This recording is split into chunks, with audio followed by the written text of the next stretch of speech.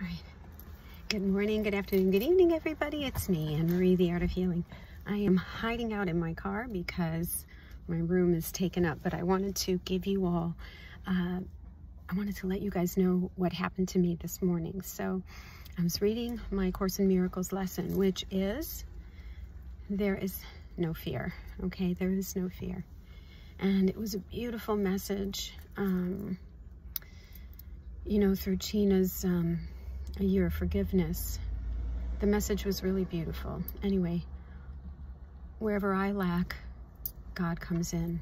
Anyway, so I was like, I want to talk to Jesus, you know. I love him so much. I use him, I invoke his name all the time.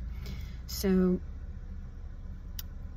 um, I called him in and I got shaken up and he came in and spoke to me. Um, then so Jesus came in and gave me some gorgeous messages, personal messages from me.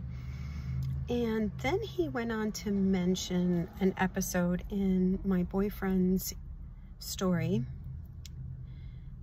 where um, he was being he was being tortured i'll just say it and um, he invoked the name of jesus and uh, his attackers ceased for a little while um, and jesus said that when you invoke the name of jesus you invoke the name and you invoke every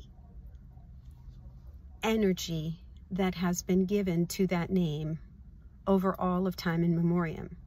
So every worship song where you're playing Jesus, any love of Jesus is attaching to the name, to the collective name of Jesus.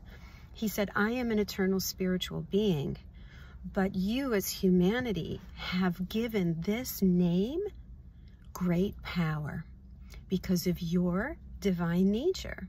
So if you are invoking the name of Jesus, you are invoking every soul through time and memoriam for the past 2,000 years that has reached out and praised the name of Jesus.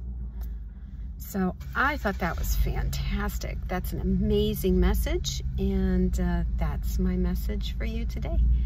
I love you thank you and please invoke the name of Jesus. Boy, bring it into you. I love you.